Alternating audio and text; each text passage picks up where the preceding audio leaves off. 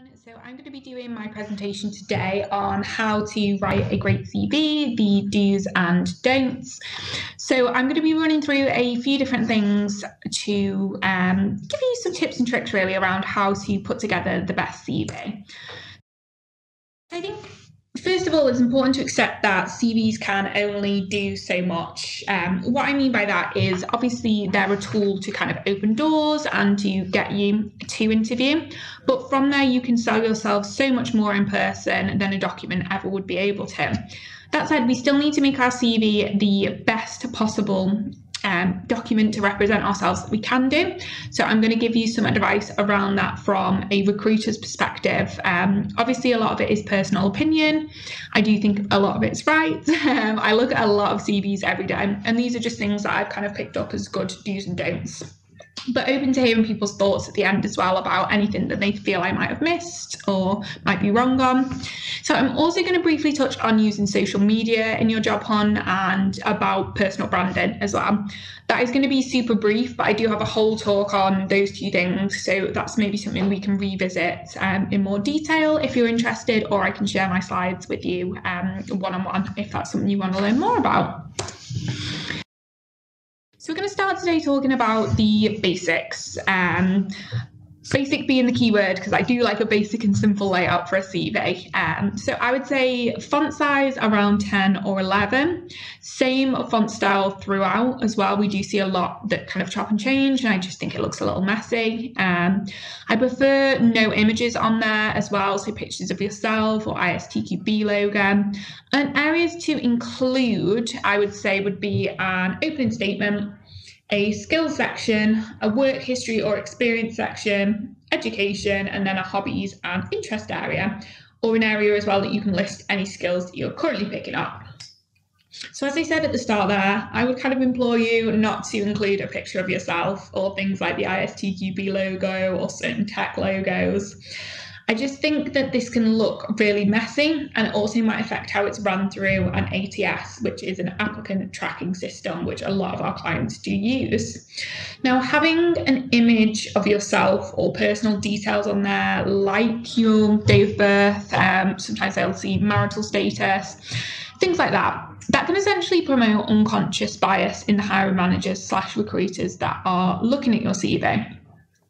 So, for anyone that's not heard of unconscious bias, it, it's basically, and it's also known as implicit bias, it's essentially underlying attitudes and stereotypes that people unconsciously attribute to another person or group of people that affect how they understand or engage with that person or group.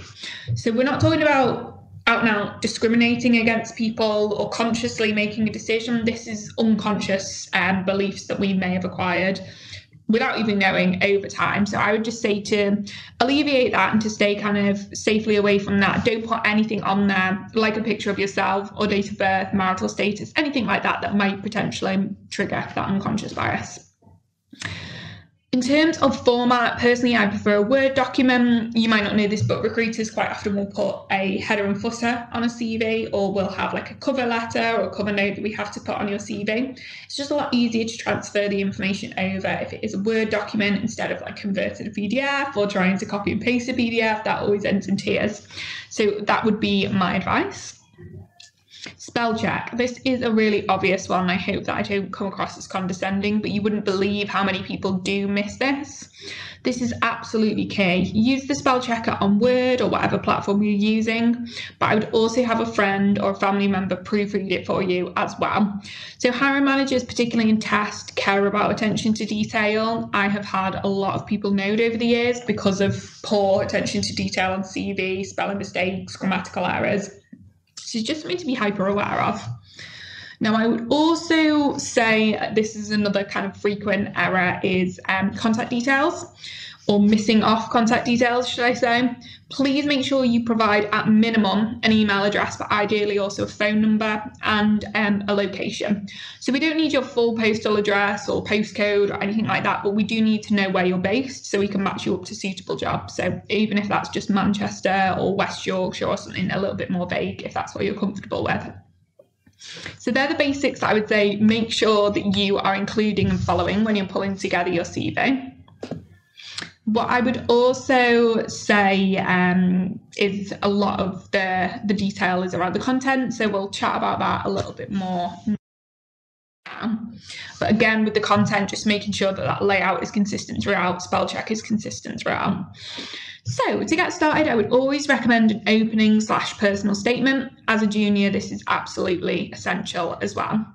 This is basically where you will sell yourself, mention any transferable skills that you have, and explain why you're looking to break into testing. Without this context, the hiring manager might not understand why you've applied for that role, or worse yet, they might think you've applied by accident or without knowing what it entails and kind of disregard your application straight away. So make sure you're providing that context as to why you're applying for a role in testing or tech if you've got no background in it, especially. So if you lack commercial experience, this is where you want to make up for it in enthusiasm. I'd say with an opening statement, you want it to be fairly short and sweet, no more than a paragraph, kind of five to 10 lines. I'd also employ you to think about keywords. So um, recruiters quite often will use Boolean searching and keyword searching on CV databases to find relevant candidates. So if you could mention any key terms in there, such as software testing, QA, ISTQB, agile, that's really going to help to get you on the radar of more people who can help you get the job. So leading quite nicely on from there is the skills and technology section.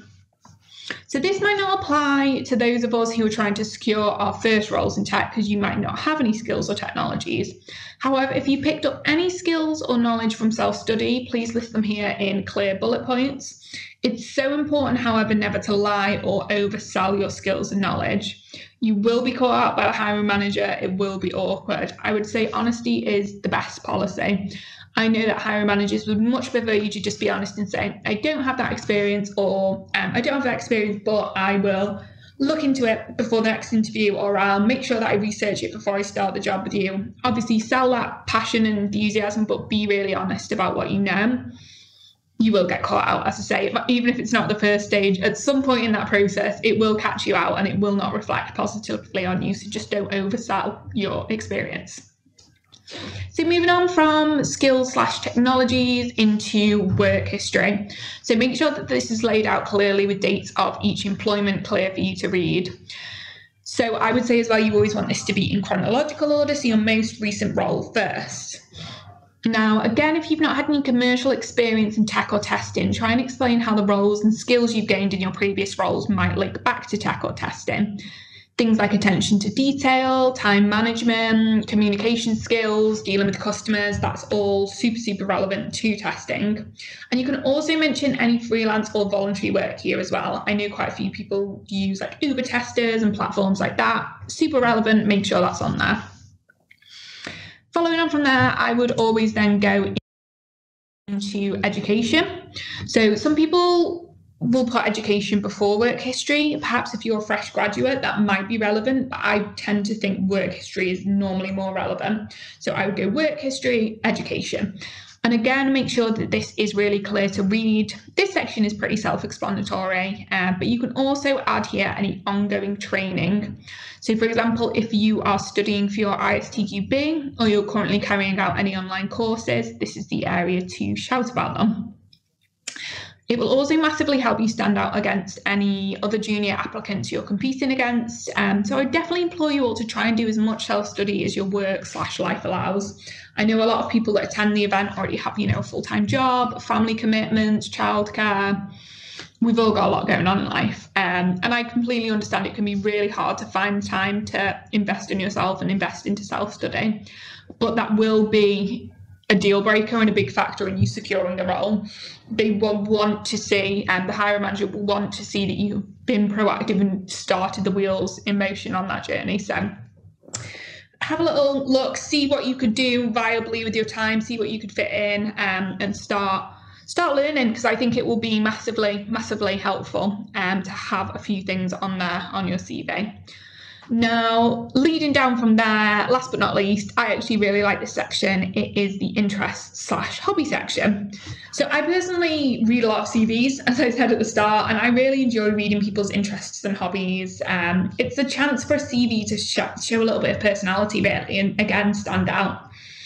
Obviously, extra points. It's particularly good if you can link this back to the job that you've applied for. So obviously, be honest about what hobbies you have. You have, but I would also say if you can mention anything for a little bit of a brownie point, so anything like, oh, I like watching out for emerging technologies, or here's a perfect example I attend software testing events in my own time, like QA Beginners Club. It's a great talking point at interview, and again, shows that interest and kind of seriousness to get into testing.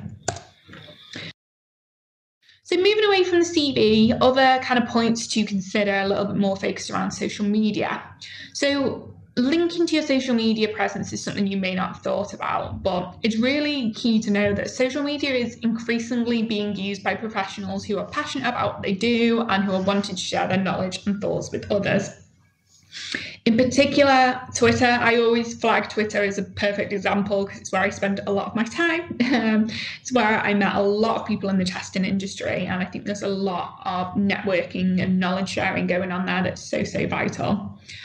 Obviously, thanks, I suppose, to COVID, um, long gone are the days of having to attend face to face networking events or face to face interviews to meet others in your industry. We now live in a world where you can tweet, message, and speak with people with the click of a few buttons. I would always recommend, as a starting point, popping your LinkedIn URL to your CV. But I have a little think beyond that. Is there anything else that I could include that will be relevant on my CV? So, as I said there, Twitter, you might have a personal Twitter account, but then you might want to set up a work one and include that. GitHub to share work examples, coding examples, blog sites to also do the same, share thoughts, opinions.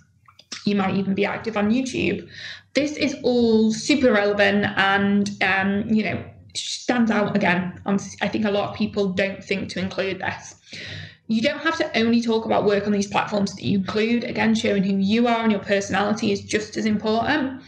But just remember, being professional is always key. So don't link back to a Twitter profile that doesn't mention anything about testing and it's all your kind of personal opinions and, you know, things that just aren't relevant or things that maybe people couldn't interpret and it could be a negative. Um, so just obviously be sensible with what you include on your CV. But again, you know, put yourself out there in these different circles. Um, I think that will be massively useful. So another thing that social media is super, super useful for is connecting before an interview. So you have done all the hard work, you have put together an excellent CV, and you've got an interview request. Amazing the recruiter that you're working with or the company will probably have given you the name of who will be interviewing you. So, you know, John Smith, for example. Now, I think it's great to connect before an interview with that person. I'm not talking about stalker level detail, like let's add them on Facebook, follow them on Instagram. I think LinkedIn, maybe Twitter are the most appropriate places and ways to do this. Essentially, what I'm thinking is is useful about this is it shows number one that you've done some research and you've looked into them, you're taking the process seriously. You may also find out something about them that you can drop into the interview um, from doing a little bit of research. So it might be something trivial like what team they support or what their hobbies are, but then you might also see, you know, a recent blog post about work or a recent update about work that you can drop into conversation. Gives you something to mention at interview, and it will mean that you stick out in their their mind um, against all of the interviews they've done that day. So I think that's a great tip. Um, and what I would say is you know, there's going to be ups and downs in this job hunt. You're not necessarily going to get the first job that you go for. This is all still very relevant. Even if you don't get the job this time or get to work with this person this time, you've got that connection there for the future. You can start investing in your network today. Now, I think, I can't remember if it's a blog or a talk, but I know that Beth Marshall has done one of those two things, um, all about something called the hidden job market. And the hidden job market um, she obviously speaks about it in a tech, like a tech testing um, perspective. It's basically a, a job market that is under wraps. Um, so there's lots of people moving jobs and getting jobs, and these jobs aren't necessarily ever advertised on like Indeed or company careers pages or with recruiters like myself. It's all done between people knowing people, recommendations, referrals. They might put it on Twitter, but not put it on LinkedIn. It's all about putting yourself in the places where these people are and stepping up to these opportunities. Now, it might seem a bit unfair. Oh, there's all these roles and no one's even putting them out there. How am I going to find them? Obviously, this is what I mean about investing in your network, investing into connecting with prospective hiring managers in your area, connecting with prospective recruiters in your area, really investing and putting yourself in those key places. Um, I'll try and find the information on Beth's talk because I know that that will be um, something that a lot of people are really interested in. I'll definitely let you know about that. What I wanted to mention as well is obviously I'm always here to help. Um, I'm on the Slack channels, my email address is on the page there. Please feel free to share your CV with me and I'll just give you like an open and honest opinion and appraisal of what I think and what you might want to change and what might help you, you know, shifting around, editing. Um, might be speaking out of turn here, but I'm sure that Chris and Ken are exactly in the same boat as myself. More than happy to help with that if you wanted it from like a hiring manager tech perspective um, as well. Just wanted to quickly mention one other thing, um, which is our ClickStarters tool. So ClickStarters is part of the searchability um, group of companies and Searchability is the IT recruitment agency that I work for. And ClickStarters is all about getting candidates um, who are kind of career switchers, I suppose, into tech and digital um, job roles. So if you haven't even got like the bare bones of your CV or you're you just want to start fresh, this tool can help you by you basically input the information, it pulls together something really lovely for you. Um, it's completely free and it's built by Searchability. So with what recruiters look for in mind. Um, so, know, no harm at all in checking that out. So from there, um, it'd be great to hear if anyone has got any questions at all. You might not feel comfortable asking them now. You've got my contact details. Um, but is there anything that anyone would like to kind of pick my brains about while I'm here?